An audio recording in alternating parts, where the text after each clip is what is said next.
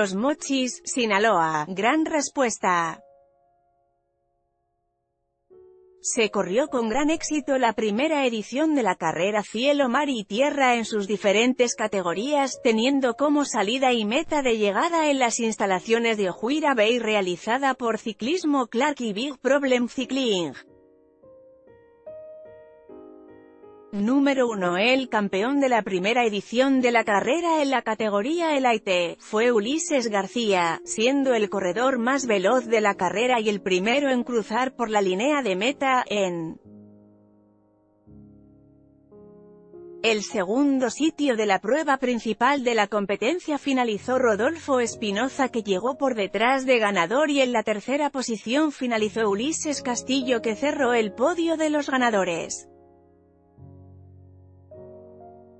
Femenil en la prueba Elite Femenil Libre, la gran campeona fue Adela Acosta que realizó un gran trabajo durante toda la carrera, dejando en la segunda posición a Denise Hernández que se quedó a la orilla del campeonato, más ganadores en avanzados varonil el ganador fue Alain Algandar, seguido de Daniel Armenta y en tercero terminó Daniel Alberto Valenzuela.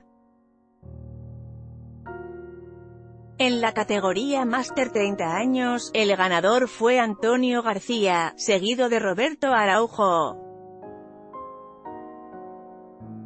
En la Master 40 el campeonato se lo llevó Freddy López y Luciano Pérez fue segundo lugar. En la Master 50 y más se consagró ganador Efraín Lugo y segundo Ediciera. En la prueba de principiantes el ganador fue Carlos Angulo y la femenil se la llevó Liliana Soberanes. En más de 100 kilos ganó Alejo Pacheco. En esta nota, carrera cielo cielo mar y tierra ciclismo Los Mochis.